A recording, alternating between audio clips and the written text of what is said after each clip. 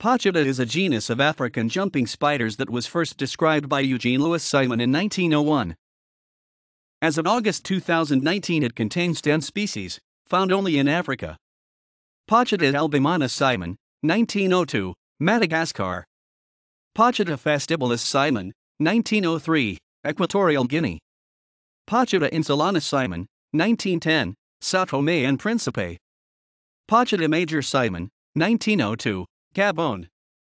Pochyta moschensis Caporiacco, 1947, East Africa.